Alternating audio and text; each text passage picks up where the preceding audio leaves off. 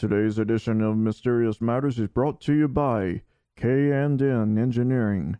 K&N Engineering is the manufacturer of reusable automotive and motorcycle replacement filters. Their air filters are designed to increase horsepower and acceleration while providing outstanding engine protection. This simple to install air filter is backed by the K&N Million Mile Limited Warranty and will be the last air filter your vehicle will ever need. Go to knfilters.com slash podcast and get an absolutely amazing deal on a K&N replacement air filter with free shipping. And as a bonus, you will also get a free hat.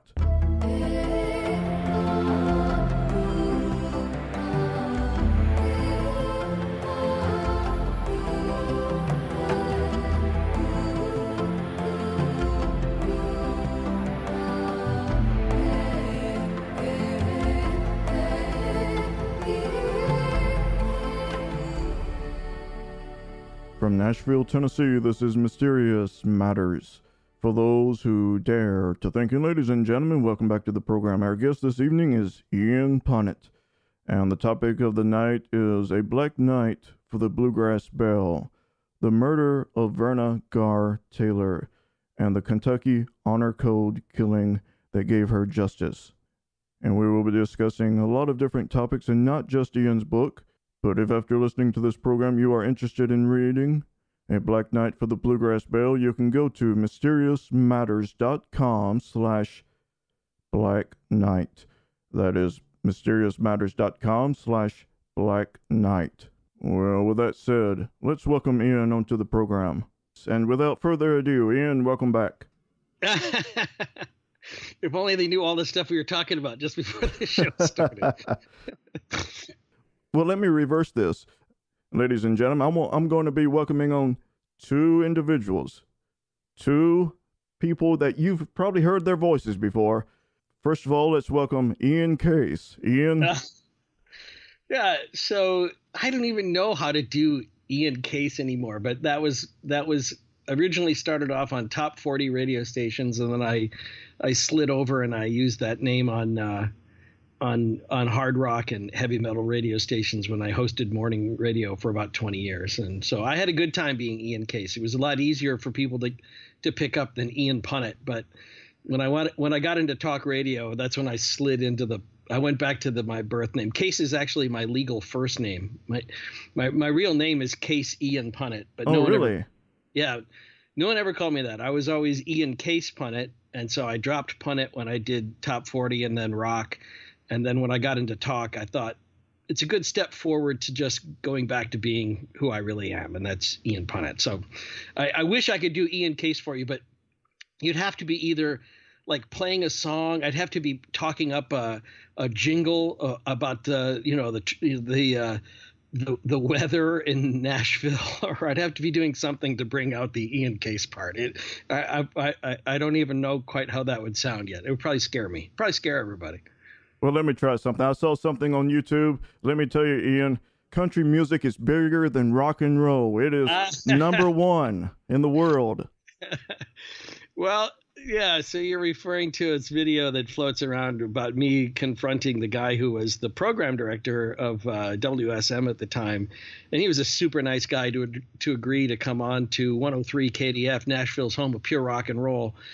I don't know, a little slipped out. Um, and uh, or Nashville's Rock and Roll Station. I can't remember. Wait, no, it was Nashville's Rock and Roll Station. That's yes. what it was.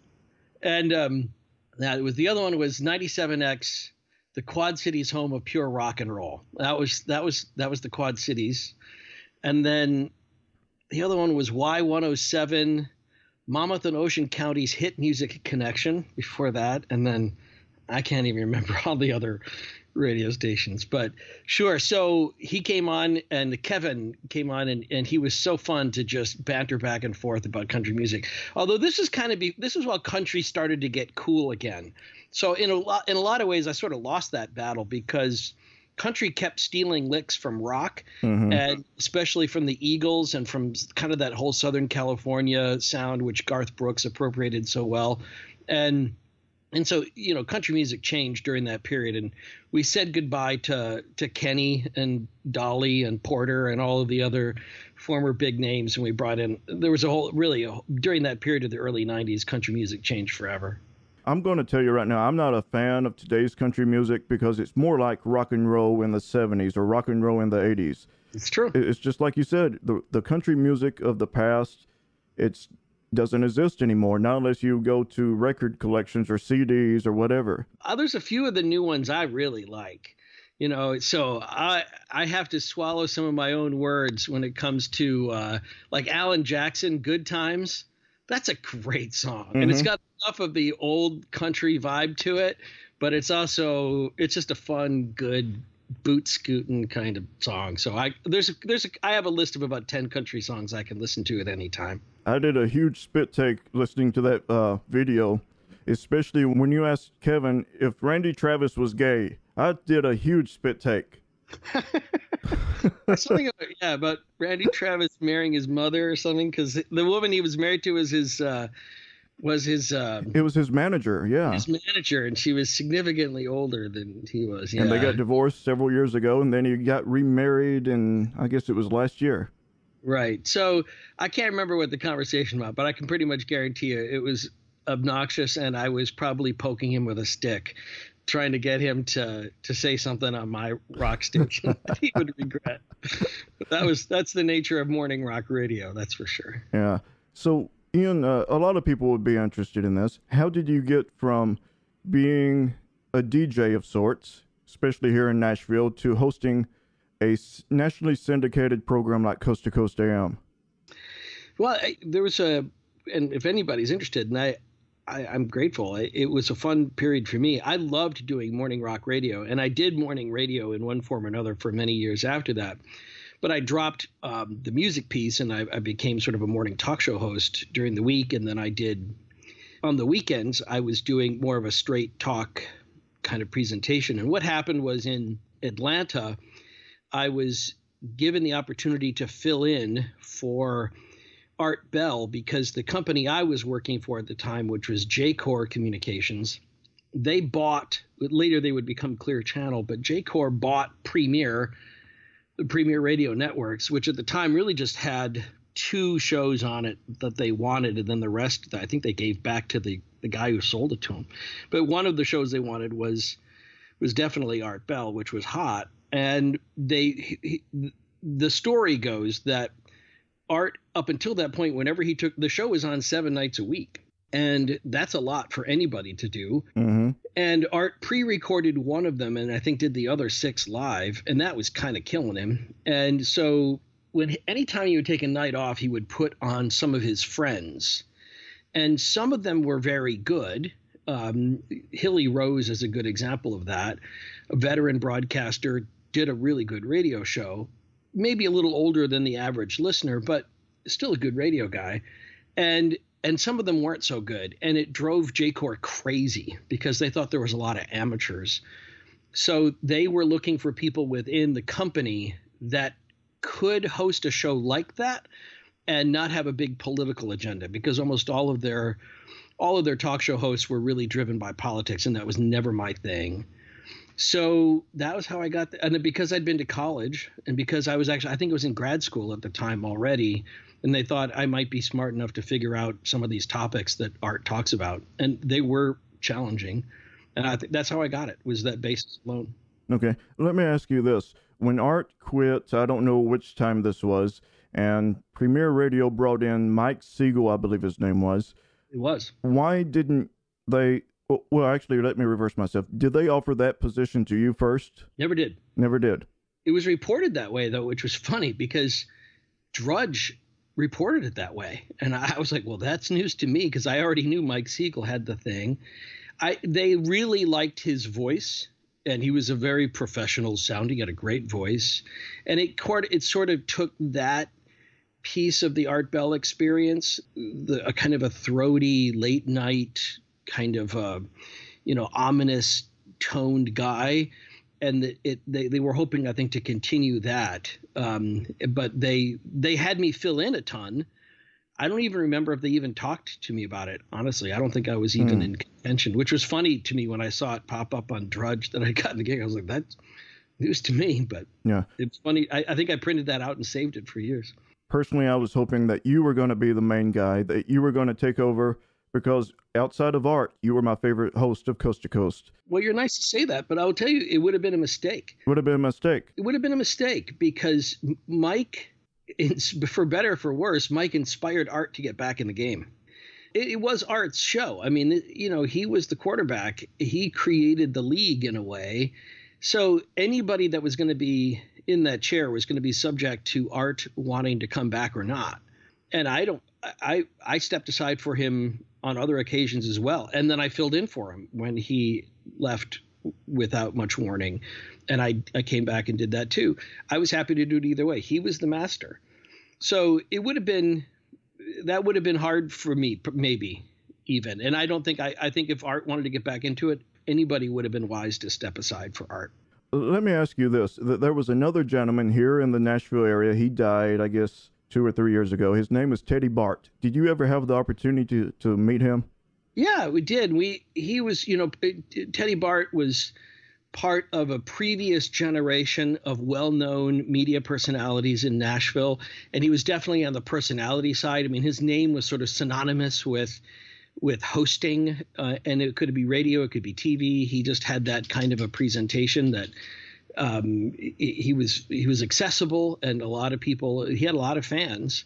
Um, at the time that I was on the air on 103 KDF in the 90s, he was a little bit more of a punchline for us.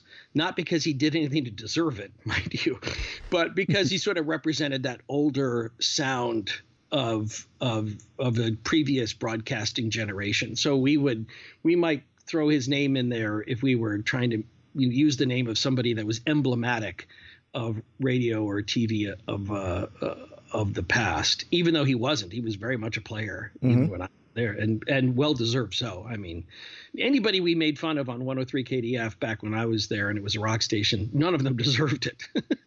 I mean, they were we, we were all just being, you know, kids in the back row throwing spit wads.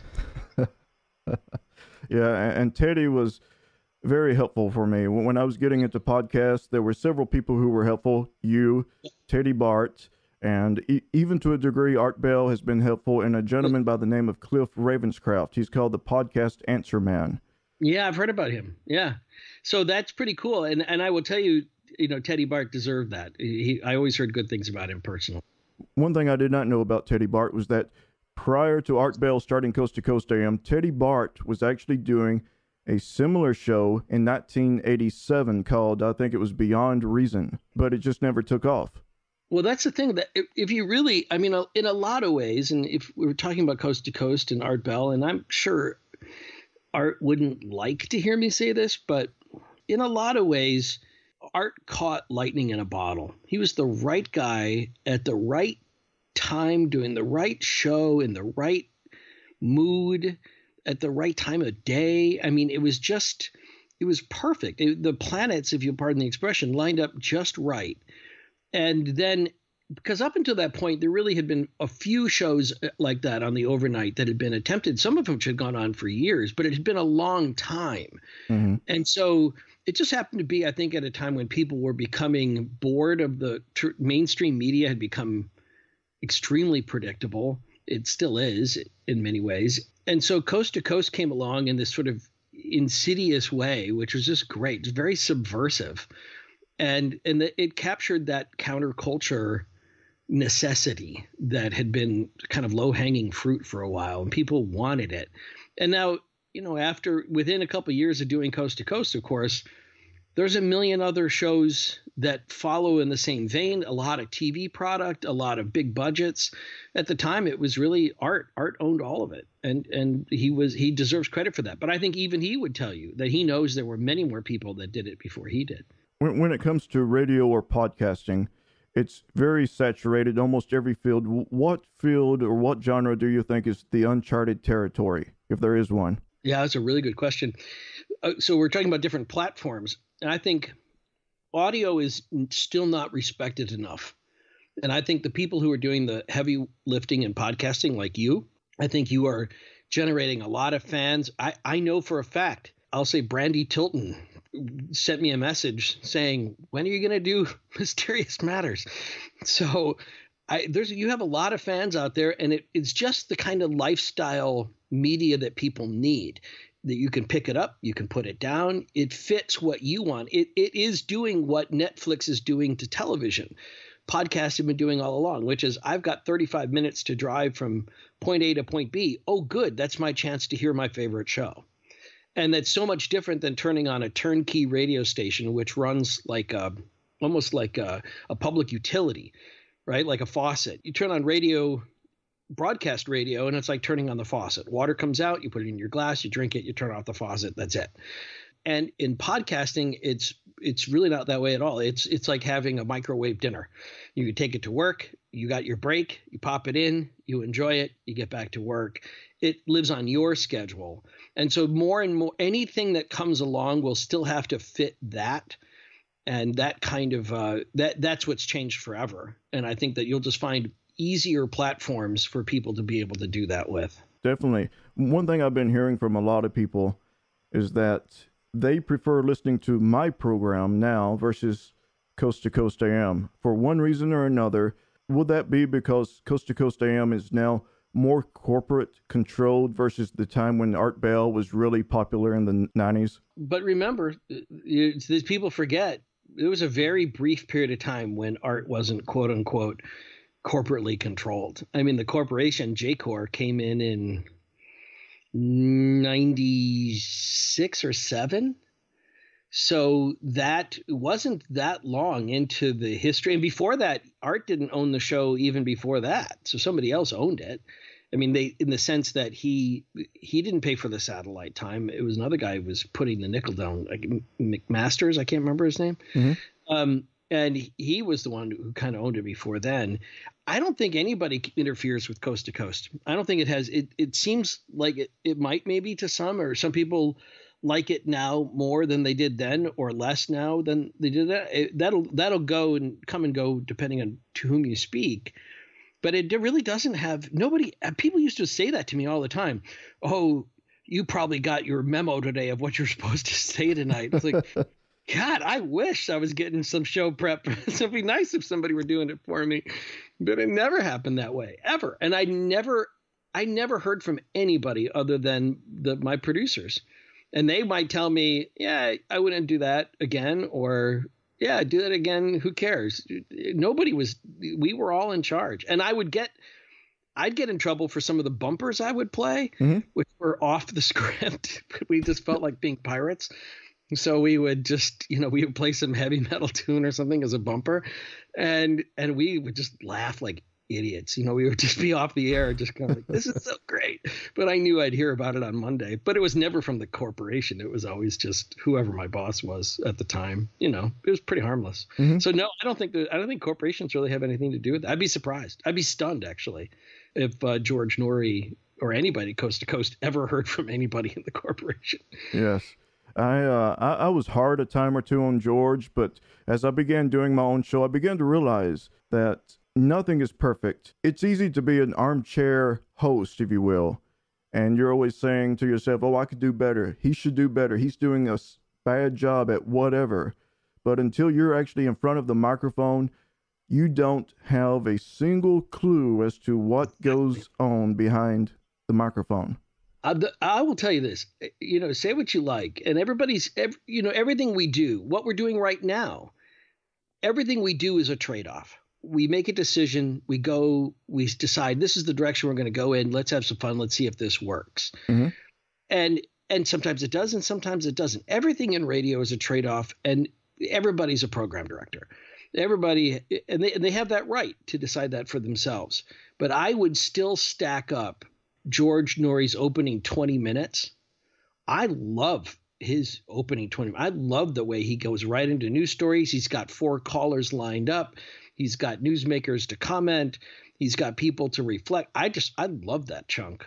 It's it's an honor. I love following that too because I know as a listener, that's a that's a high tune in time because you get a lot for that brief period of time. I think. And uh, I wish I could be at the caliber of George Noory. I I used to say George Noory sucked or whatever, but as a broadcaster, as a podcaster, you look at someone like that and then you listen to yourself and you just wonder, will I ever reach that caliber? Yeah. Will I yeah. ever reach the caliber of an Ian Punnett or an Art Bell? Yeah.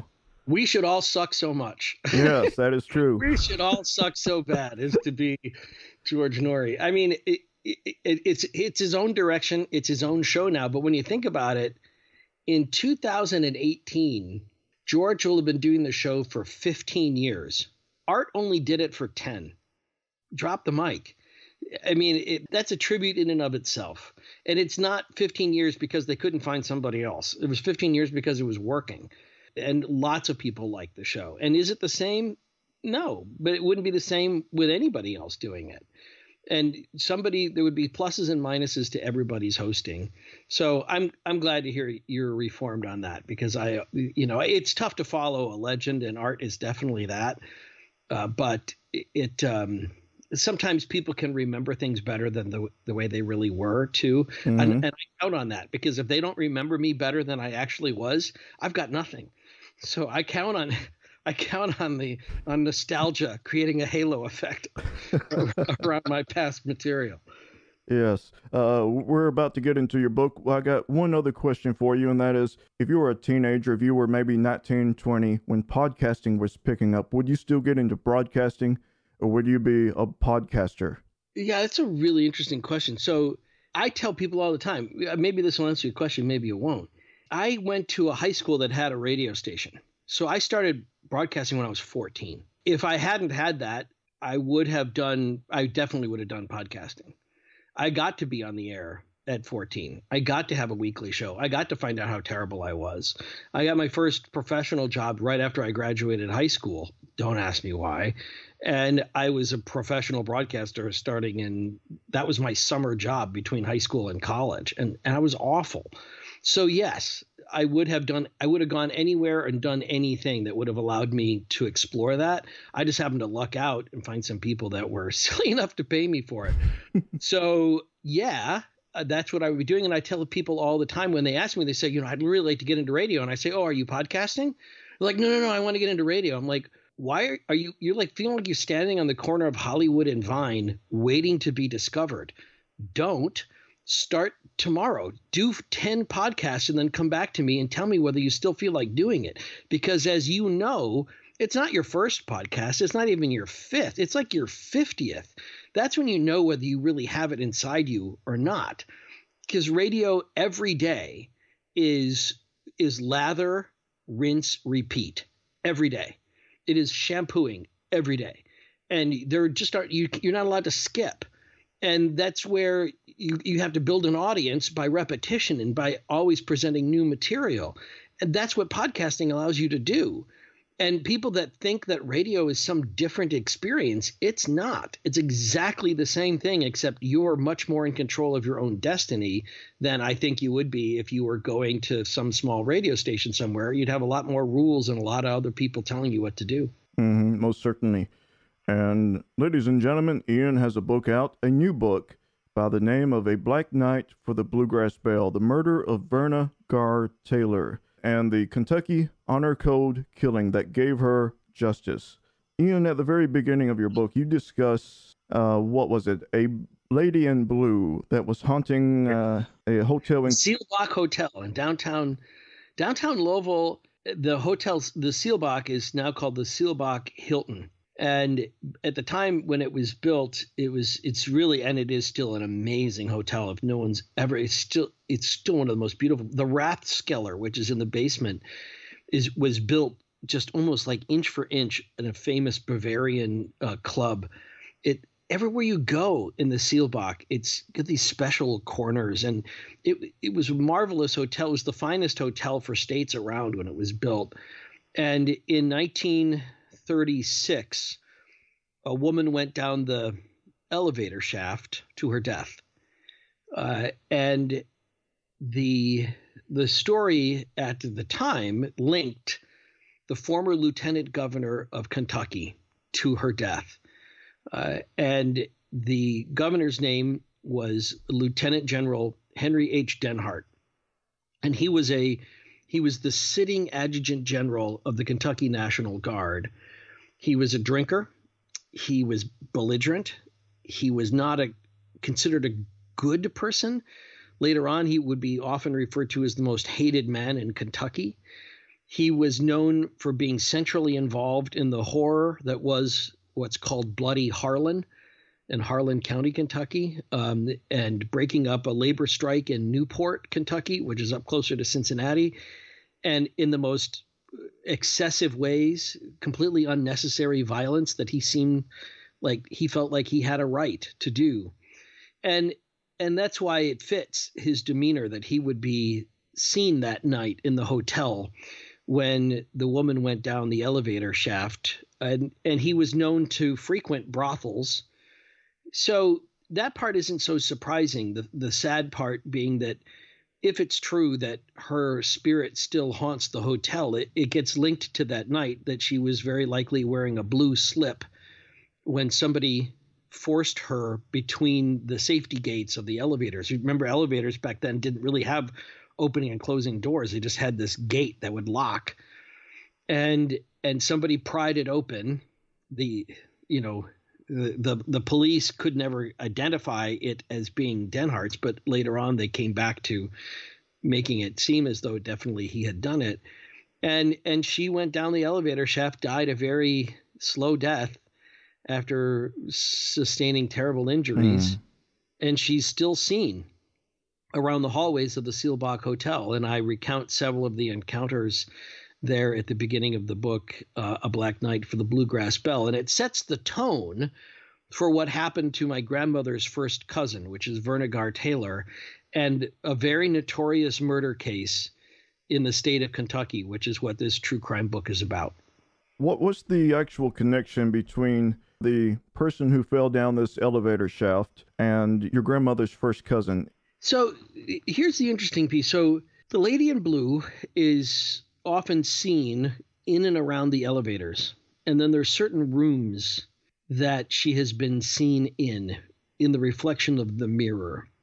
It it certainly if we accept the notion of ghosts as being people who can't accept their demise and that they're they're trapped somewhere in some time dimension if that's true then she would seem to be a pretty much of an archetype of that because her her death was brought about very likely by this guy Lieutenant General Henry Denhardt who then shortly thereafter started dating uh, a 40 year old widow named Verna Garr Taylor. She lived in LaGrange, Kentucky. Denhardt had just moved out that way. Uh, and he had bought a gentleman's farm after being retired from politics. I say that meaning he didn't quit. He just he couldn't get elected to anything anymore, and he had run friends that were willing to give him jobs. So he had he had decided to to get a, a gentleman's farm where he would lease out the the fields to somebody else. And he started calling on Verna Garr Taylor who was an independently wealthy woman. I say wealthy in the context of uh, the Depression. She owned her own business, she owned her own house, she owned a car, she had a phone in the house. She had two daughters, 20 and 17 at the time. Uh, and she had not dated at all since the death of her husband about five years earlier. She was very much in love with with Barclay Taylor, Bark as as he was known, and after she decided she would not accept Denhardt's marriage proposal, the night she tried to give him back the ring that he had given her to think it over with, uh, that night she was found dead. Um, one shot from Denhardt's 45 revolver. As a service revolver, a 1917 Smith and Wesson. Uh, the a particular gun that was issued to him when he served in World War One, and one bullet pierced her heart, mm. came the other side, and he claimed Denhardt claimed it was suicide. Uh, that would have meant because when they found her body, she was clutching her gloves in her left hand, that she would have had to have shot herself through her left side on an upward trajectory uh, using her right hand It doesn't make any sense. It's not even physically possible. I, I have a replica of the gun, and the and then he was put on trial for that because people just didn't accept his explanation. And after there was a hung jury, and this gets to the answer of your question, um, the after there was a hung jury and they decided they were going to retry him, Jefferson County, which is where Louisville is, decided to resurrect the case of the lady in blue. And they decided to, at the time, there was a, a process where you could sue somebody for murder. And he was going to be sued for the death of the woman that went down the elevator shaft. And so that case comes back to him later on um, after people were so outraged that he got a hung jury in his uh, murder case against my grandmother's first cousin. Um, then Jefferson County came back and added another charge in an attempt to get him for that one too, but he wouldn't live long enough to be tried for for either one a second time. Was Denhardt uh, targeting certain types of women that you know, such as uh, particularly widows? It's a good, question. and so they both were widows. Interestingly enough, the prostitute was too um, although she had already divorced her husband, or she was in the process of divorcing him. Uh, he had been killed in a mysterious car accident a couple weeks before her death. But was it because they were both widows? I think part of it is probably because it was the depression, and and he was a narcissist sociopath. There've been a couple of former coast to coast guests that I turned to for advice on this book, and Katherine Ramsland is one of them, forensic psychologist, great writer, and you know, prolific writer of books about this type of serial killer behavior. And and then I also turned to a friend, Dr. Les Carter, who'd been on Coast to Coast a couple of times with me, who is an expert on narcissist sociopathic personalities. And and he uh, labeled Trump. I'm sorry, Trump. he labeled he labeled Denhardt exactly that a narcissist sociopathic personality. And he said, and this part was the really compelling part, that that they prey on people, women especially, they do very well with because they come on really big. And so here's the depression. He comes on very boisterously, flamboyantly, very successful, and he has a way of of using that to overcome people and to get women, especially probably to give into his will. And he thought, I think, he targeted Verna Garr Taylor thinking she was a widow, she was very attractive, and he'd be able to have her way with him, uh, have his way with her, sorry. And and she wouldn't go along with it. And I think that's a big part of the reason why she died that night is uh, the medical examiner said there was evidence of a sexual assault. Mm. And I think she rejected him, and I don't think he took that well. Yeah, he, he definitely comes across as the type of person who either he will get his way, or if he doesn't get his way, he's going to have a huge fit, kind of like Donald Trump, who you just briefly mentioned, then backtrack. Didn't mean to. Slipped out. But it's interesting how they, they do share, especially as politicians, perhaps, you know, they share a lot of traits. And I do, I will make this point. When I was writing about Denhardt, back when I was putting some of the finishing touches on the book was right about the time that Trump somewhat surprisingly said I could shoot anybody on the street. I could shoot somebody in the face or whatever he said. I'll shoot somebody dead on Fifth Avenue and I wouldn't lose any votes. And that's so much like the way Denhardt thought too. And they just that idea of I have the entitlement. I'm so popular. Look at what I can do. And that's kind of how narcissist sociopaths think. Now, I, I wasn't trying to start a big political fight here, but that was interesting. It's also interesting to note that O.J. Simpson, when he was arrested, and they first said, Well, he said, What am I being accused of? They said, For the death of Nicole Brown Simpson. And he said, and I quote, I couldn't have killed her. I loved her too much. That is exactly what Denhardt said when they found Verna Garr Taylor's body outside of LaGrange, Kentucky, in a ditch, shot once through the heart, and Denhardt, everybody was looking at Denhardt, and he said, I could not have done that. I loved her too much. You know I did, which is such a bizarre thing to say.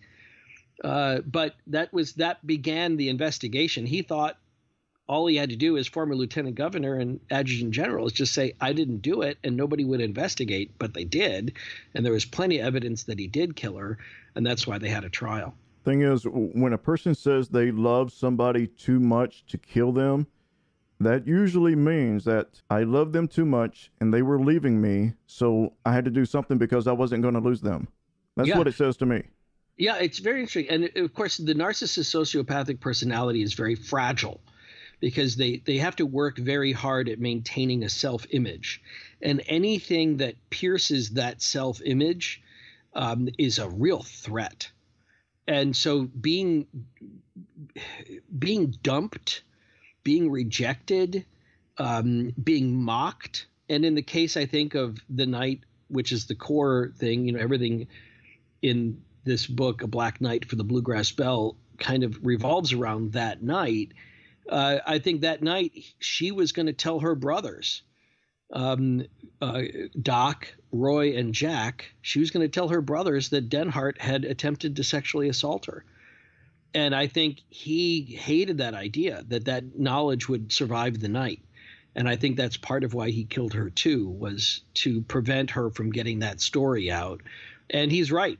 I, I think he had a lot to fear if if Doc and Roy and Jack knew about the assault on Verna, uh, it, it wouldn't have gone well.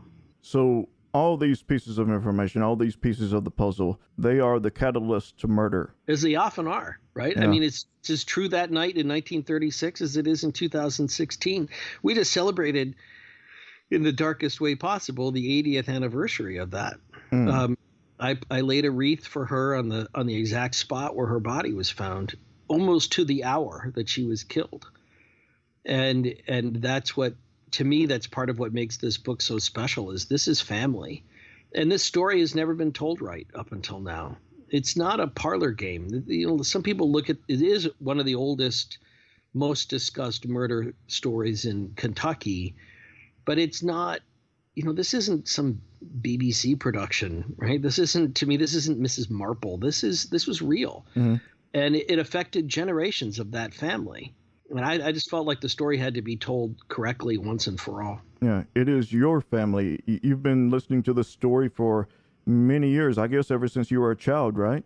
Yeah, I mean, we went to bed singing the Garr song, which was written about this tragedy. It it was performed on the on the stage of the old Ryman Auditorium, not too far from you, over there, just off uh, right, just off uh, Second Ave. Or what's yeah? What's where, where's the Ryman Auditorium? Suddenly, I can't remember the address anymore. Oh, I don't know. I don't remember.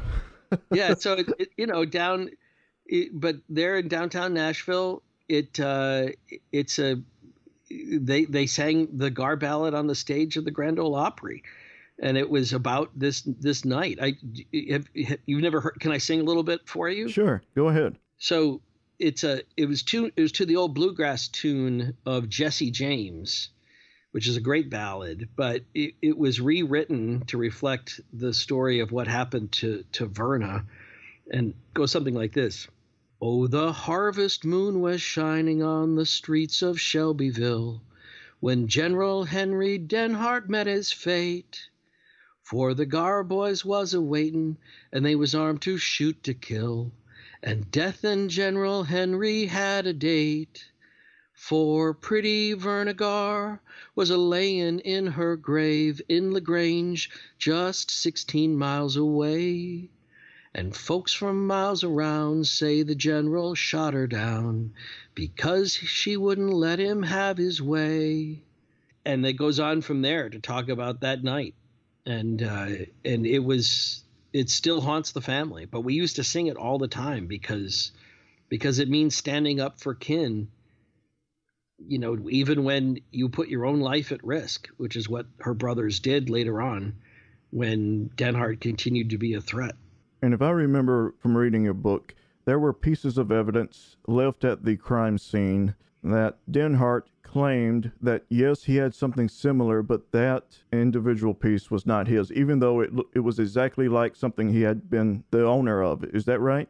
Yeah, well, there's a couple of things like that that sort of falls in that category. He he had he hired a dream team of lawyers, and this is all. It's so interesting to see again the parallels with the O.J. Simpson case.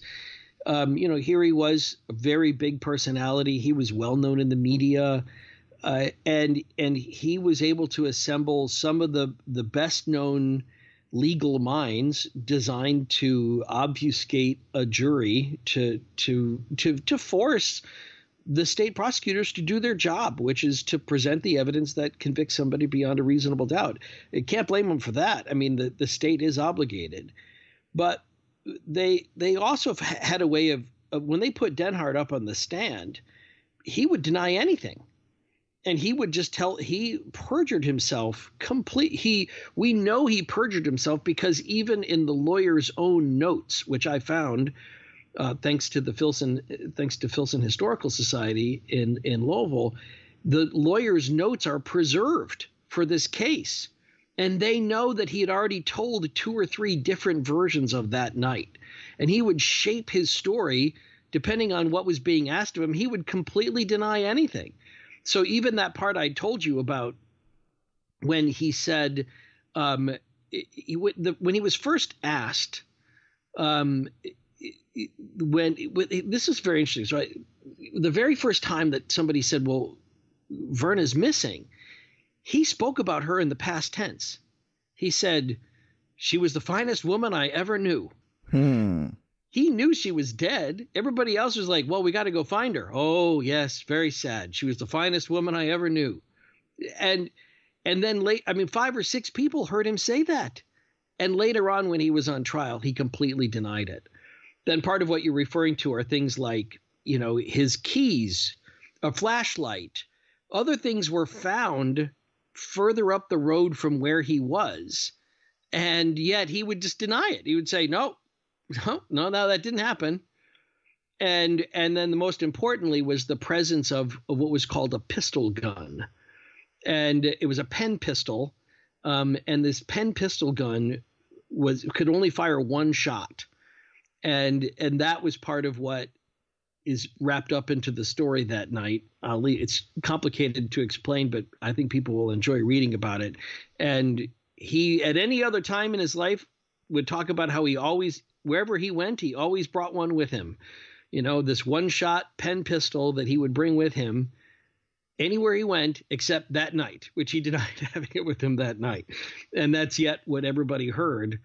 Um, so I'll I'll leave that for the people who read the book. But it, I think it's part of what makes the story so interesting is he was wily, he was clever, and he knew he had to cover his tracks. Mm-hmm. Do you also think that that's a characteristic of a narcissistic uh, psychopath that they're going to deny everything that they will go out they could be recorded say something and then the next day deny ever saying it because we know for a fact the president elect has also been exactly the same way. Well, and so again, uh, not to make it a political thing, but it's it's a very consistent aspect of some people's personalities that truth is just expedient truth is what you decided is that day. That's true for a lot of politicians, right? I mm-hmm. mean, we they are they're caught on tape saying something exactly there's only one possible way to interpret what they're saying and then they say nope completely wrong or they say, I never said that. And then they play the tape and then they turn it into a different conversation of, I can't believe you're playing that at a time like this. Da, da, da. You know, they, they'll, they'll do anything but to admit that they've been busted.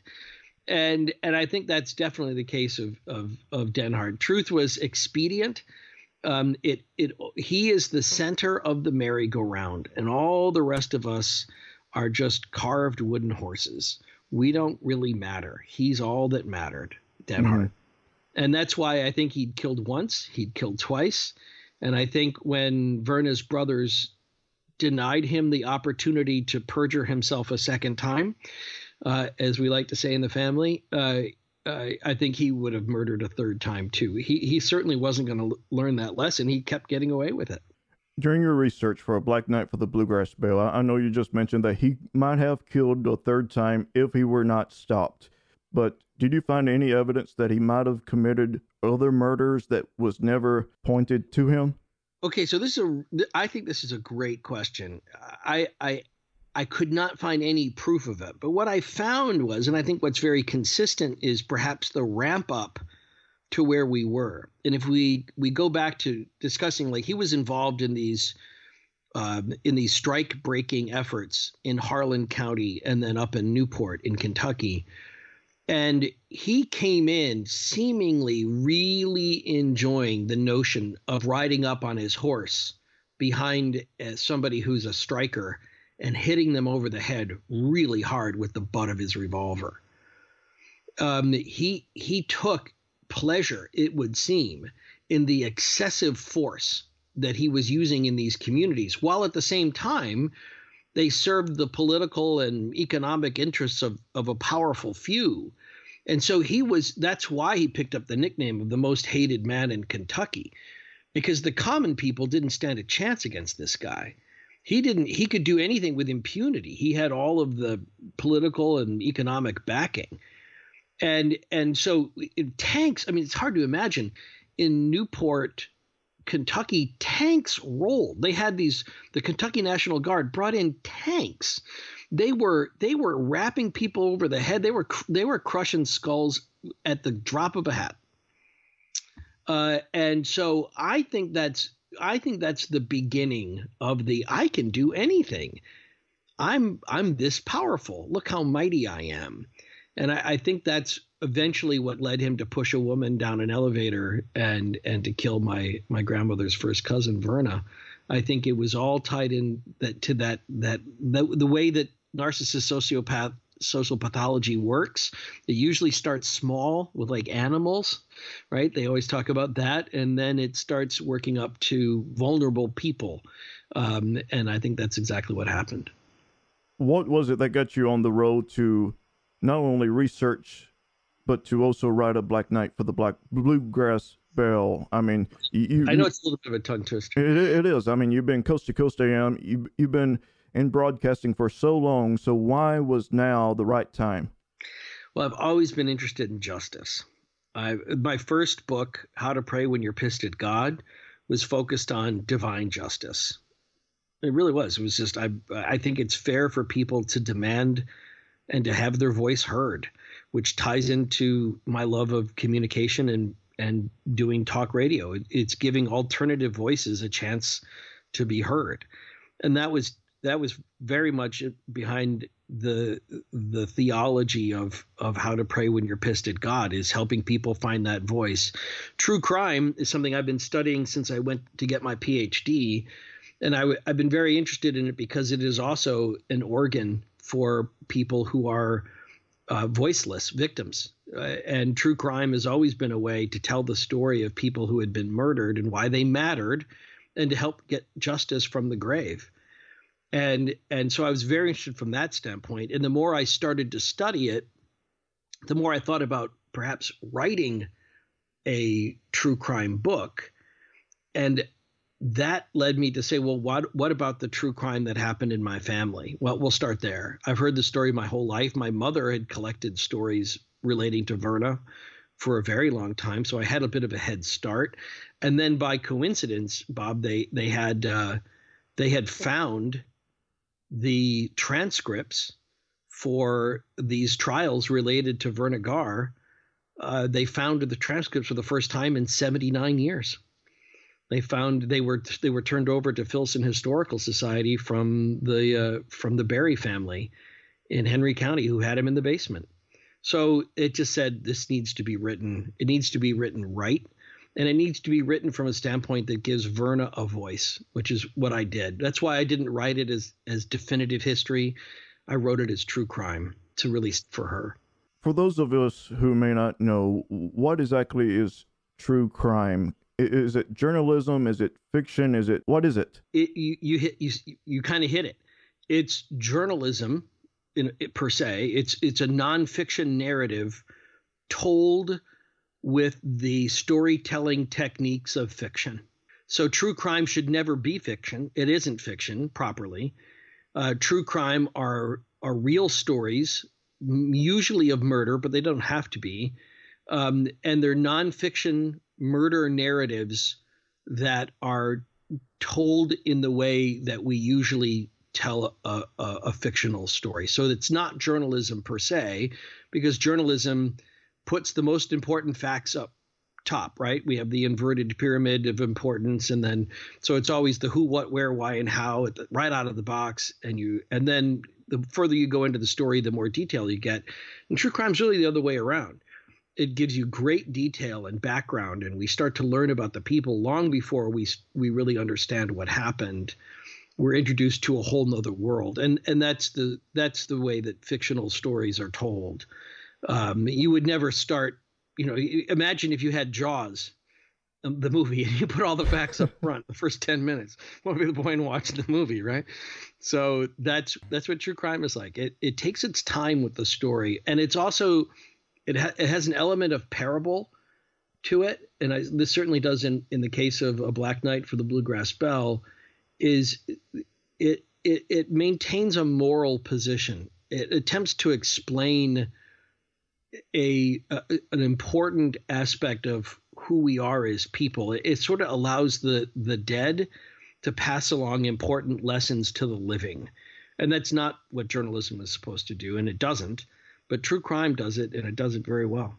Mm-hmm. When I was reading your book, as I got more in depth with it, especially with Denhardt, you know, as a comic book fan, I just kept seeing right. him as a huge supervillain. Yeah, is that the way yeah, you were envisioning him as you was writing about this? That he was just a huge. He could have been a supervillain in a comic book. Well, he had this sort of Lex Luthor kind of feel to him, doesn't he? Mm-hmm. You know, he even kind of looks like Lex Luthor, the shaved head. Oh yeah. you know the he was uh, he was larger than life, and and that's that's part of what went over that that rather unsophisticated jury. That and the fact that in that first jury they were they were so dependent the, the prosecution was so dependent on the crime science, which was too new. It was too early in the development of crime science, and it, it, it, completely confused the jury.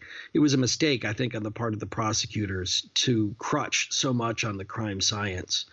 Um, but yeah, so it there was a there's an aspect to that. They they the jury ate up his larger than life persona, which definitely has this sort of comic book feel to it. For Verna Garr Taylor, I know her brothers took care of the situation, but was there also another individual in her life that could have been seen as a hero of sorts that at one time or another stepped in to try and keep her from being involved with Denhardt? Well, there were there were well, I'll tell you there's one person who tried to stop the relationship was my grandfather, um, and he was a former um, police detective in Louisville. My my grandfather had some trouble, so he was kind of a former a lot of things, but he was a former police detective, and at one point, um, Verna's family came to my grandfather and and asked him. Um, look, we're hearing a lot of stories about this guy Denhardt we don't think he's treating Verna particularly well, but she seems to like him. What do you think?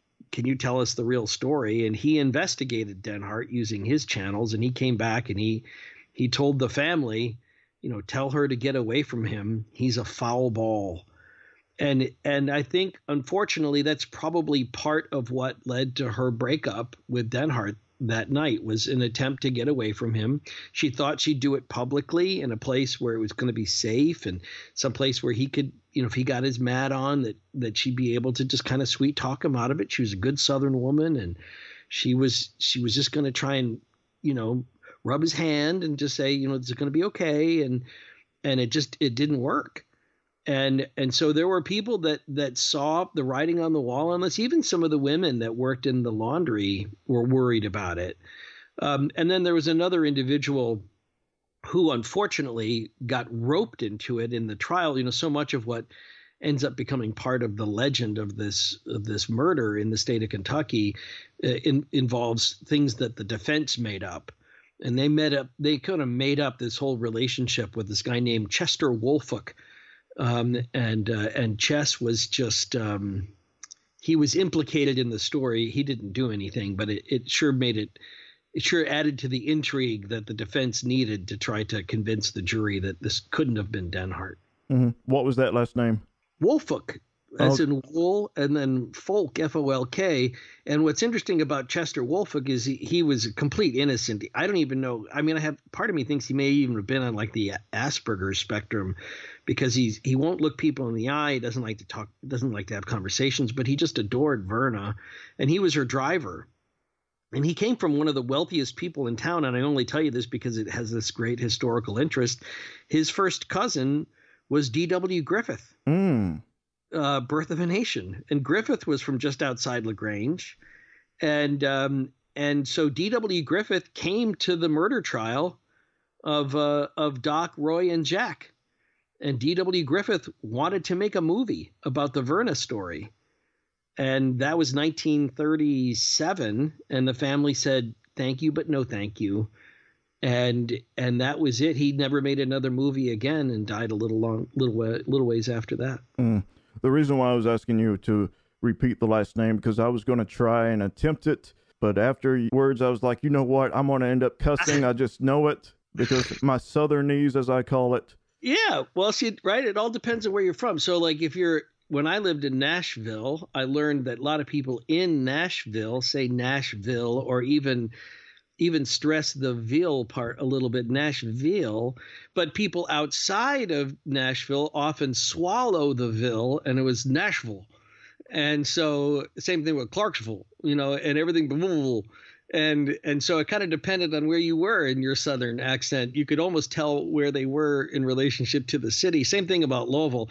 My mom would never let me, and we were never allowed to ever say Louisville. And really? So we, oh no, my God, she would step on our feet if we said that. So it's it had to be Louisville, and there's still a debate in the city of Louisville as to exactly how you pronounce Louisville, depending on who you ask. Yeah, I don't know if you remember your time here in Tennessee, but there's a Lafayette, and oh, yeah. uh, you, you, can either pronounce it Lafayette or Lafayette. It's Lafayette. Oh, I had I learned all sorts of pronunciations I had to get used to that Demonbreun and a couple other things later on that I learned. No matter where I was, there was always something that was being pronounced differently. And uh, yeah, I was just thinking about that the other day because it's still Lafayette, Georgia, but Lafayette, Indiana.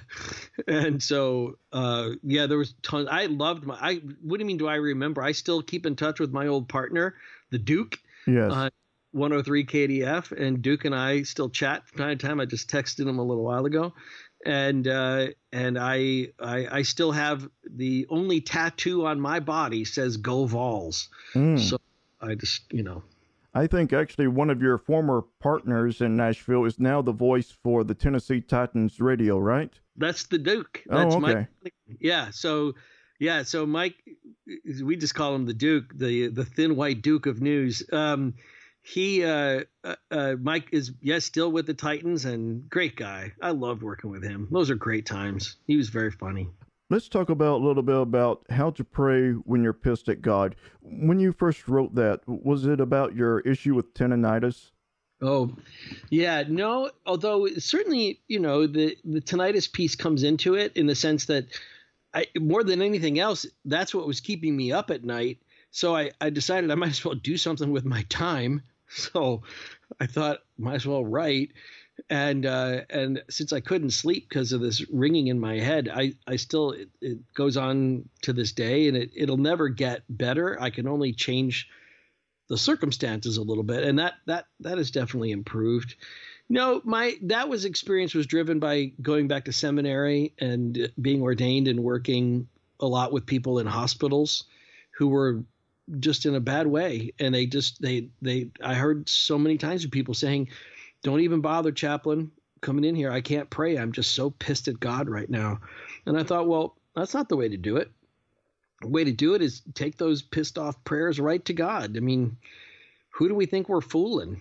If we believe in an omniscient god do we think god doesn't know that's the way we're feeling so you might as well get it out of your system. And certainly the Bible believed in that. So many of the prayers in the Bible are very angry.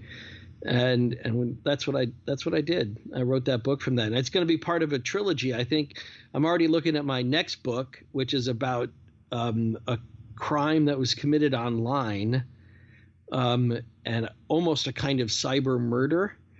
And I think so. I think that's how I'm going to wrap up my my justice trilogy, a book about divine justice, a book about earthly justice and a book about cyber justice. Mm, interesting, interesting. Uh, let me take a look here. I'm just thinking, I, I'm flipping through the pages of my mind.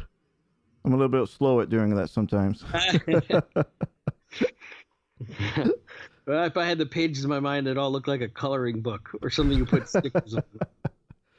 Oh man, no, I, I I know you said it wasn't about anything with you, but have you ever been pissed off at God and and you just couldn't sure. find the time to pray, but you finally buried yourself into your beliefs and went to God? Well, see, that's the thing. I think they're two of the same.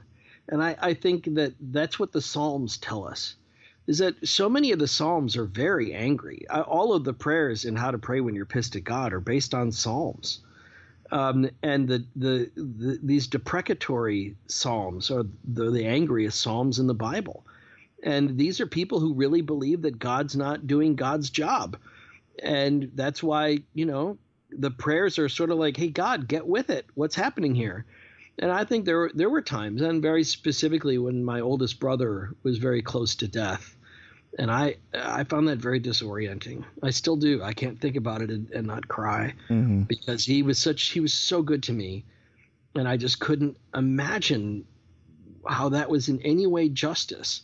You know, I was just some you know punk college kid, but my brother he had done good things. He was already he was already he had already proven himself. And how could something so bad like a kind of cancer get to him? And why was I spared that? It just didn't make any sense.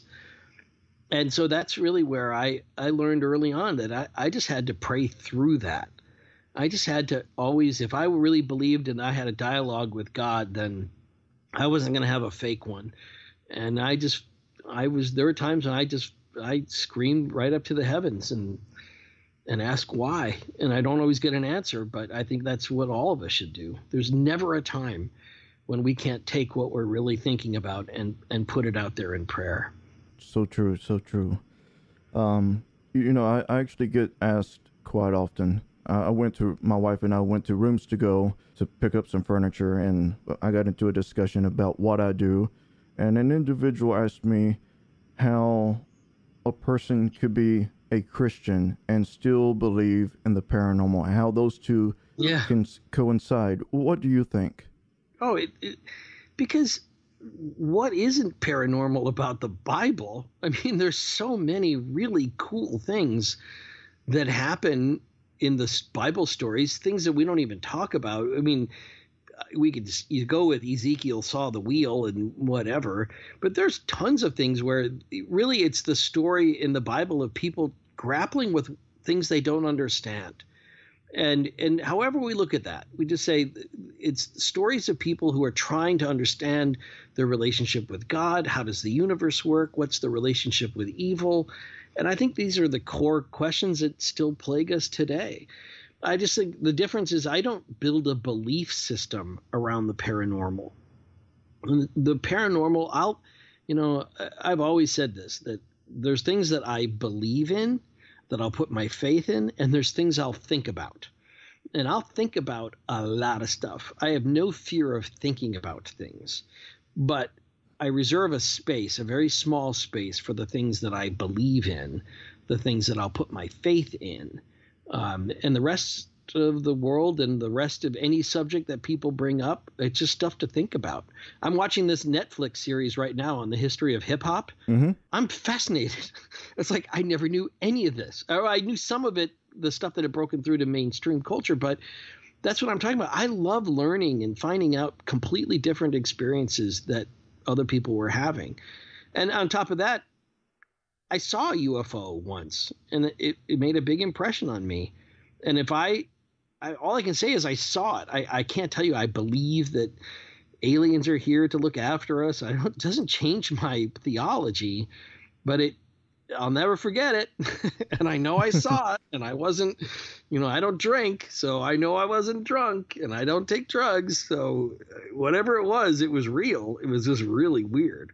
Here's another thing I want to touch on with you. I, have always wondered about this, especially as I've been doing this show. I've had on gentlemen like uh, Dr. Amit Goswami, and he will actually be on very soon. Cool. A, a, theoretical physicist. Don't know if you've ever heard of him or not. I, I, have seen his name bandied about. Yeah, I, yeah. I haven't. Look forward to hearing that. Carl Calleman and some other individuals, and they've spoken about how our world, the world around us, even Dr. Michio Kaku, that nothing is physical. We are a holographic illusion. Everything around us is made up of nothing but pure energy. What is your belief in that? For me, if it's true, then life is just an educational institution for souls, and we are here to learn whatever it is before we reach that next level. Well, I think these are things which here I what I would t- tell you is that let's hold everything in tension with something else. We never have to cling to just one pole. So to to your point, when I was in college, and some people may object to this characterization, so let me apologize way up front. I'm not I'm not impersonating somebody to mock them or to mock a particular ethnic group, but I can't tell the story without trying to recapture the way this guy said it. I had physics with a professor who had written the um, the the section on particle physics in the Encyclopedia Britannica. Very smart guy, and he was from South Korea and he would get very animated whenever he would talk about matter. And it was never an issue of trying to make it sound like we didn't matter, but rather how tied are we with the rest of the world. And what he would say, and I'll say it in just the way he said it, is he would say, everything a wave. Everything a wave. You a wave, I'm a wave, this table, it a wave. Everything a wave and I've never forgotten that. That is exactly how it, everything a wave. Uh, tree, it a wave. Window, it a wave. Everything a wave. And and that's one way to look at it. It's particles and waves. So do we just think of it that way, or do we think maybe this is part of what we, in a way, we've always sensed is that we're all connected, and we all we all we are all part of the same substance in a way. And we can think of that, I think, in a very divine way. We, sh- we share a soul. And, and it doesn't mean that the table has a soul, but it just means that that we we exist in life for a period of time and we can do with the energy that we're given only so much. The rabbis say everybody is going to be a role model the only thing we have to say about it is whether we're going to be a positive one or a negative one. I say, I'm a wave, you a wave, everyone a wave. Let's be good waves. Let's be waves for good. How about a tidal wave? well, that's this show. You're a tidal wave on your podcast is a tidal wave. Uh, I'll tell you, during the show, sometimes it's very difficult because this time of the year I have throat issues, like I've discussed before with you and on the show, but also have TMJ, and sometimes my jaw just completely locks up. This happened when I was like 19 years old. I was driving around where I was working uh, at an aluminum plant at I think it was at midnight. I was going to load up a truck, and uh, around the very back of the building, they were there were some punks, whatever, having a party. My window was rolled down, and one of them just punched me right through my car window. Now, luckily, it was rolled down. Otherwise, you never yeah. know what would happen as soon as I was punched, I saw nothing but, I mean, this was midnight we're talking about. I saw right. a flash of light, bright white light. That's all I saw. And ever since then, I've had trouble with my jaw. But I will tell you, I love doing this show. I love having on individuals such as yourself, regardless of how much trouble it's causing. I mean, you know this, having tendonitis, you dealt with that for years before you decided enough was enough. Well, I did. Yeah, the doctors told me it's how vain are you? Can you live a life without being on the radio? And I said, Yep. And they said, Good, because if you keep going, you'll be deaf. And I was like, Nope, don't want that. So mm. that was answered for me. But in that in that same way that you're talking about there, think about that. How many people? I mean, you. So I, I hate the discomfort of that thought for you and how binding that must feel, but it should also be a reminder to all of us that we should never take for granted our ability to speak and to eat and that it still is a miracle how our bodies are formed and the fact that we can use our mouths to both express ourselves and maybe sometimes we should all be more mindful of the words we use and the time we talk. Mm-hmm. And for me, it goes back to how to pray when you're pissed off at God. I mean, sometimes I get so pissed off that, you know, my jaw's in the shape it's in. Sure, I could go to the hospital, I could go get a surgery or whatever. But most of the emails I get are great. Some people will say, hey, you can't pronounce this right. I'm like, no shit, Sherlock. Guess what? I, I, mean, really, I send back emails and say, no shit, Sherlock. no, hey, you nailed that. You nailed the doctor. I was really impressed by that. I Goswami or whatever. I thought that's good. You can't. Uh, let's try. Try. Other people try and take a, a shot at that. So, yeah, you know that is the funny thing, and and I think that's kind of the beauty about, in a way, about doing radio for as long as I did is I, I also you also kind of learn to be a little bit bulletproof and it, people the, the same sort of bullying that goes on in kind of the casual basis of the way people mock each other take your best shot. I don't care. You know i really i get in trouble on my facebook page because i just people try and shame me for one thing or another. And oh my god i just i look at that and just think that's ridiculous. That must work on somebody because you've taught yourself to do it but it sure as hell doesn't work on me. So you know, it's a big internet. You'll find somebody else who fall for that, but not here. Yeah, hell, you get in trouble on your Twitter account. I haven't been noticing that. Yeah, yeah, and I don't care about that either. you know, I just don't. I, it's not for me. This is a place to express myself, and I feel like saying something on Twitter or Facebook. I, I don't ask for somebody else's permission. I'm not putting it up for a vote, and if you don't like it, you know, unfriend me. I don't care. I'm not here to try and keep. If I try, if we, if anybody, any of us did that, anybody tries to live by that rule of trying to be popular with everybody, oh my God, you talk about a sickness. It'll drive you nuts. It certainly would. Yes. You'll never sleep again. And ladies and gentlemen, Ian's book is a Black Night for the Bluegrass Belle: The Murder of Verna Garr Taylor, and the Kentucky Honor Code killing that gave her justice. Ian, that's a really long title. Well, the subtitles are there just because sometimes people don't get enough from the title. So that okay. was one, one, of those one of those publisher things. So the title is really just Black Night for the Bluegrass Belle, but we put a couple other words up there so people could follow along. Plus it makes those photos on the cover make more sense, you know, which are cool cover photos. And if anybody wants it, if it's time for the holidays, and I hope they do order it for somebody, I think the fastest way now is to go through. I'm trying to save myself some Twitter or Facebook responses, if you don't mind, and, and to go directly through the publisher. Uh, there are a lot of bookstores in Kentucky. All of the Barnes and Noble uh, locations in Kentucky have it on displays. Maybe North Tennessee, but I don't know that. And um, uh, and then online. barnesandnoble.com was selling out pretty regularly. Amazon was selling out pretty regularly. And so i think the fastest way is just get it through acclaimpress.com and they get them they get the books out pretty quickly. And if if it's close to christmas and people wanted to get it to somebody for a christmas present they can do express and you can get it there. It'll cost you a little extra but it's a good book don't you think? It's worth the read.